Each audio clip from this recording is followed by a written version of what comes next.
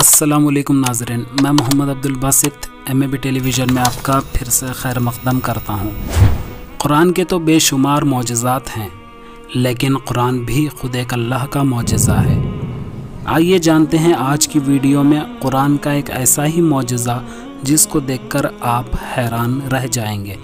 आपने शहद की मक्खी तो देखी होगी, लेकिन गौर नहीं किया होगा कि ये छोटी सी शहद की मक्खी कैसे शहद बनाती है और कैसे शहद का छत्ता बनता है। हदीस में शहद को शिफा करार दिया गया है। तो आज की वीडियो में हम इसी चीज़ के बारे में समझने वाले हैं। तो लिहाजा वीडियो को आखिर तक देखें।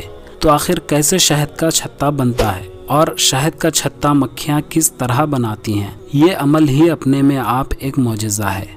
आइए समझते हैं। कुरान में वाजह तौर पर ज़िक्र किया गया है कि अल्लाह ने शहद की मक्खियों को अपने घर बनाने के बारे में वही की है। रियाजदानों ने 2000 साल से ज़्यादा अरसे तक इस सवाल को और इस मसले को हल करने की कोशिश की और बिल आखिर उन्नीस सौ निन्यानवे में ये मसला इन्हें समझ आया। इसे हनी कोम्प कंजक्चर का नाम दिया गया। साइंसदानों को ये बात इतनी परेशान कर देने वाली थी कि वो समझ नहीं पा रहे थे कि शहद की मक्खियाँ शहद का छत्ता बनाने के लिए मोम का इस्तेमाल करती हैं। ये बात जब साइंसदानों को समझ में आ गई कि शहद के मक्खियों के पेट में मोम बनने के गदूद होते हैं। मोम के गदूद शहद को मोम में बदल देते हैं।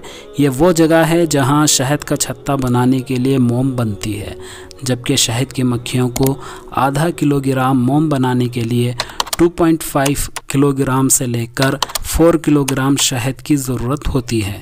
अगर शहद के छत्ते को बनाने के लिए ज़्यादा मोम इस्तेमाल की जाए तो ज़्यादा शहद जमा नहीं हो सकेगी, क्योंकि शहद की मक्खियाँ शहद से ही मोम बनाती हैं और फिर बाद में उस शहद को बने हुए मोम के छत्ते में जमा करती हैं। तो लिहाजा शहद की मक्खियाँ शहद के छत्ते को बनाने का सबसे मौसर तरीक़ा यानी यूज़फुल तरीक़ा इस्तेमाल करती हैं। जब शहद की मक्खियाँ शहद का छत्ता बनाती हैं तो वो मुसद्दस यानी हेक्सागोनल शक्ल का ढांचा बनाती है। अब ये समझ इन नन्ही सी मक्खियों में कैसे आई? क्योंकि अगर शहद के छत्ते को दायरा यानी सर्कल, या मुरबा यानी स्क्वायर, या मुसलस यानी ट्रायंगल शेप में बनाती तो शहद ज़्यादा जमा नहीं हो सकता। और जो मोम शहद का छत्ता बनाने में इस्तेमाल होता है, वो भी ज़्यादा लगता। और मोम के छत्ते में शहद भी कम जमा होता। ये सब चीज़ों ने साइंसदानों को हैरान कर दिया कि शहद की इस छोटी सी मक्खी को इतनी जहानत और चालाकी कहाँ से आई? ये मक्खियों को कैसे पता चला कि सर्कल, ट्रायंगल, स्क्वायर, ये सब शेप को छोड़कर सिर्फ़ हेक्सागोनल शेप में ही शहद का छत्ता बनाना है।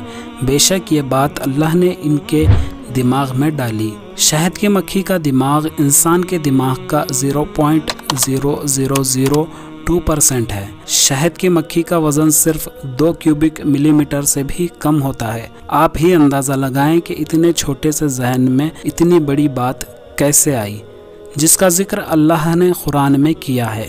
अल्लाह ताला कुरान में फरमाते हैं, और आपके अल्लाह ने शहद की मक्खी पर वही की कि पहाड़ों और दरख्तों में अपने घर बनाए और जो लोग बनाते हैं।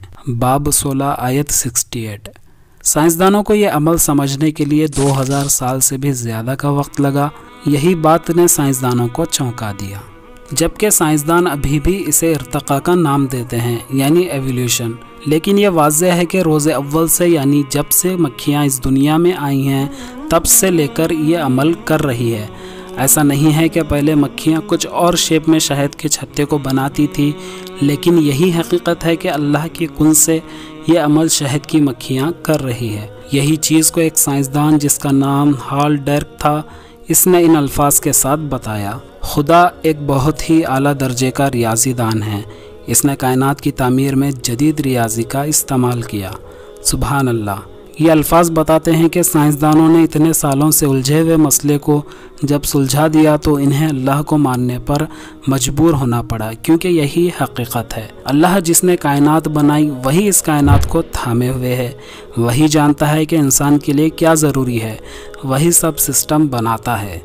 जैसा कि अल्लाह ने आयत उतारी शहद की मक्खियों के बारे में कि इन्हें हुक्म दिया कि पहाड़ों और दरख्तों में अपने घर बनाएँ। जबकि कुरान में दूसरी मखलूक़ात जैसे चूंटियों, मच्छरों, मकड़ियों के बारे में भी आयत उतारी गई है। लेकिन जब शहद की मक्खी के बारे में कहा गया तो इसमें घर बनाने के लिए अल्लाह की तरफ़ से वही की गई इन अल्फाज का इस्तेमाल किया गया है।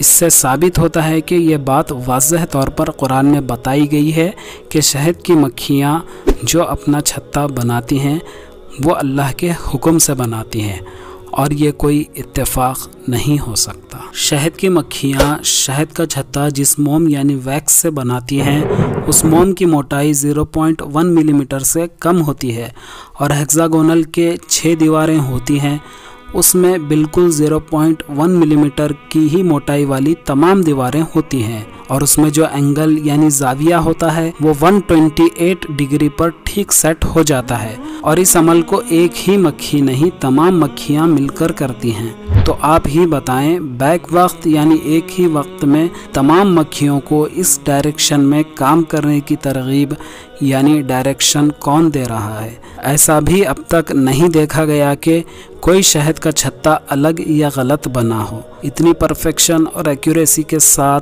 कैसे ये मक्खियाँ बनाती हैं? यह सब टीम वर्क करती हैं और किसके इशारे पर करती हैं? तो बेशक ये सब अल्लाह के हुक्म पर करती हैं। ये तमाम बातें इंसान को हैरान कर देती हैं और समझदार इंसान इसे अल्लाह और कुरान का मुजज़ा कहता है। तो वहीं काफिर और ना समझदार इसे बस एवोल्यूशन और इरतका का नाम देता है। आज की वीडियो में इतना ही। मिलते हैं अगली वीडियो में। तब तक अपना और अपनों का ख्याल रखें। असलकुम